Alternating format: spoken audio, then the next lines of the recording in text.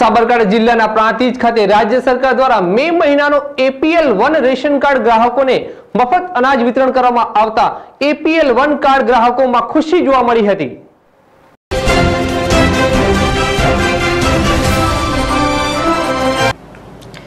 સાબરકાંઠા જિલ્લાના પ્રાંતિજ સહિત ગ્રામ્ય વિસ્તારોમાં કોરોના વાયરસ અંતર્ગત સમગ્ર દેશમાં લોકડાઉન જાહેર કરતા ગુજરાત સરકાર દ્વારા વિનામૂલ્યે સસ્તા અનાજની દુકાનો પરથી ફરી રાશન આપવાનું શરૂ કરેલ છે ત્યારે હાલ સાબરકાંઠા જિલ્લા કલેક્ટર સીજે પટેલ અને જિલ્લા પુરવઠા અધિકારીના માર્ગદર્શન હેઠળ પ્રાંતિજ પ્રાંત અધિકારી સુનલબા પઢિયાની સૂચના અન્વયે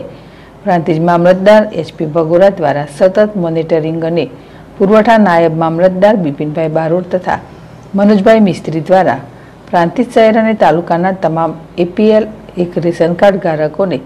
દસ કિલો ઘઉં, ત્રણ કિલો ચોખા, એક કિલો ખાંડ અને એક કિલો ચણા દાળનું વિનામૂલ્યે વિતરણ કરવામાં આવી રહેલ છે. ત્યારે દરેક રેશન કાર્ડ ધારક પણ બિનજરૂર ભીડ ટાળવી અને સોશિયલ રિટર્ન જાળવવાની પણ તંત્ર દ્વારા વારંવાર અપીલ કરવામાં આવેલ હતી. સંજય રાવળ જેડેસ્ટી પ્રાંતિ પ્રાંતિજ.